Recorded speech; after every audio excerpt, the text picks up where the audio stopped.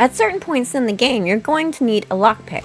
You can go into your manual of crafting and make a lockpick with just two metal scraps. However, if you go and talk to the blacksmith, he will make you one for only one metal scrap, and every little bit counts in the beginning of the game. You may have noticed that when you follow along roads, oftentimes they'll bring you to important structures. But what you may not have noticed is in the left corner there's an on the road buff.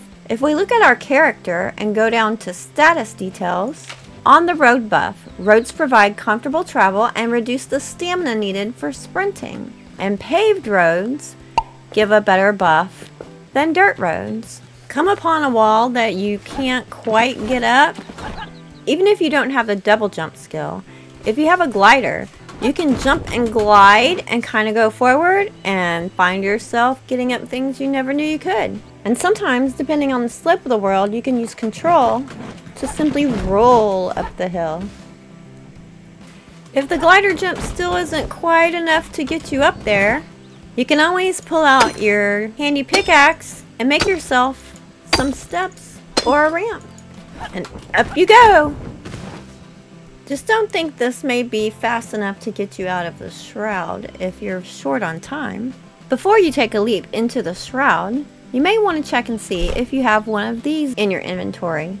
A Shroud Survival Flask, which gives you plus 2 minutes maximum time in the shroud and is active for 45 minutes. However, don't make the mistake of thinking that this is like a health potion and that once you're in trouble, you'll just take it then. By that point, it's too late. You need to take it in advance or you will find yourself fallen in the shroud. Bottoms up. Here we go.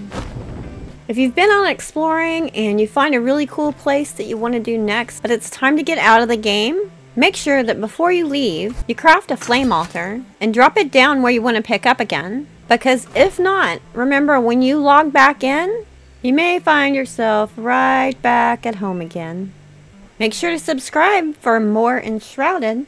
And if you found that you liked something in this video, leaving a thumbs up really does help the video spread. Until next time, happy gaming!